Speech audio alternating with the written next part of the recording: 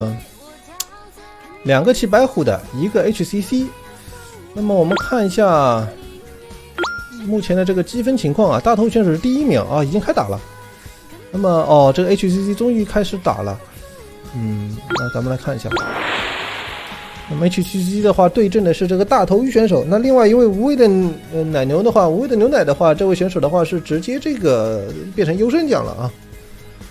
也不一定，他还要击败大头鱼，或者他还要击败这两位选手中的胜者呢。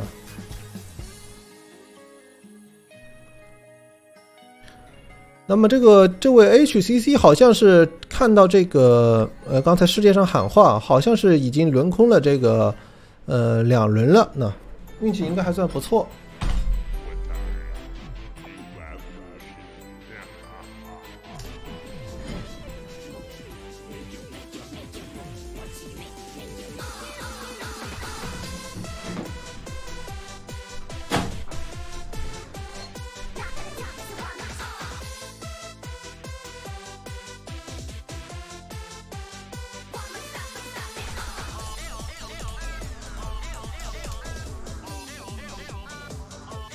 哎，开动了，给自身的宠物的话套了个镜子，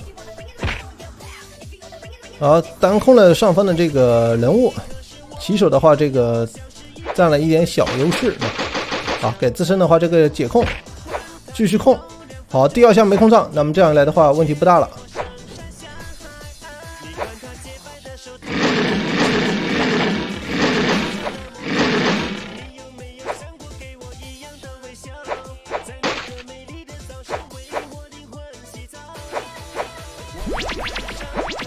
现在这个天气啊，好热呀！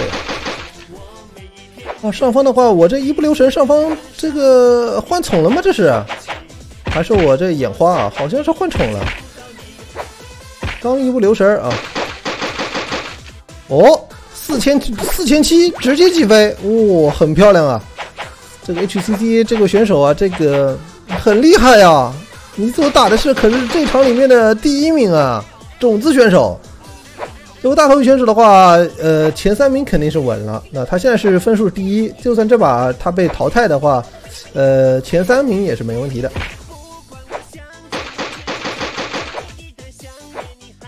啊，那么这一下的话，又把下方选手的话是这个控上了。好在对方的话，这个人物也被控了啊。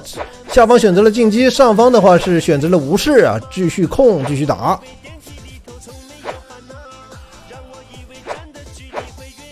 单转了这个下方的属性，问题是你转完之后，你 你只是克水地克水啊，但是你没有办法吃到一个战场属性优势啊，你依然被对方这个嗯克制一半。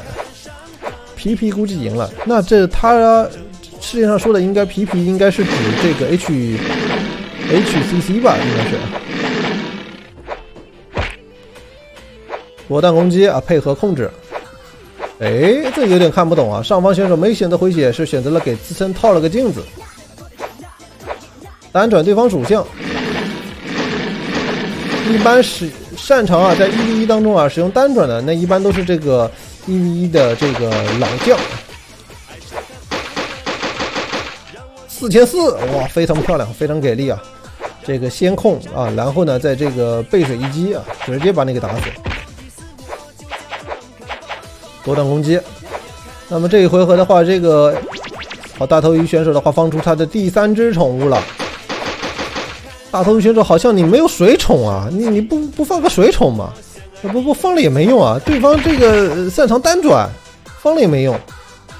哦，这这这这这又把你给转了啊！这个地属性哎又给你转成了火属性，然后这个就被这个水属性完克，关键是这个人物还被控了。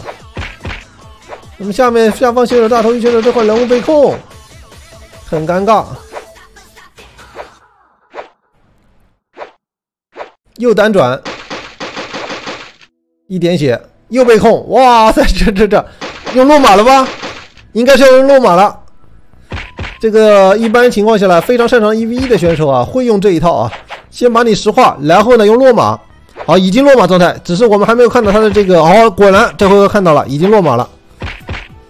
咱们这块是落马形态啊，落马形态的话，这个啊，你你你不用这个背水打吗？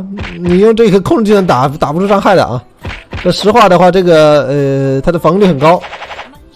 哦，那这一下没中，对方要先换宠。哦哦，这个这这个这波有点有点有点凶的，一千多血，哦，直接打死，非常漂亮。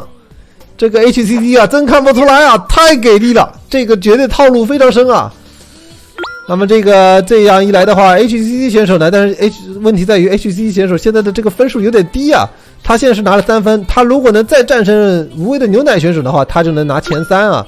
他如果打不赢无畏的牛奶的话，这个他就拿不了前三。关键是这个无畏的牛奶这位选手，他也没在排行榜上。这这这两位选手真是难兄难弟啊！你俩都不在排行榜上，然后的话，这个都还得打一对手啊！你你想浪都不行。这这这这这这可就真是这无畏的牛奶呢，也是也是一位老牌战将了啊。那么咱们看这两位选手的这个精彩这个博弈吧。这也是咱们今天的这个乱舞 PK 啊，海选赛里面的这个最后一场战斗。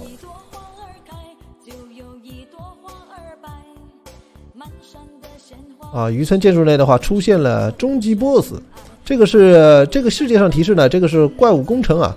呃，每天晚上呢，这个嗯，九点到十点随机档会这个刷这个怪物工程啊，然后呢，这个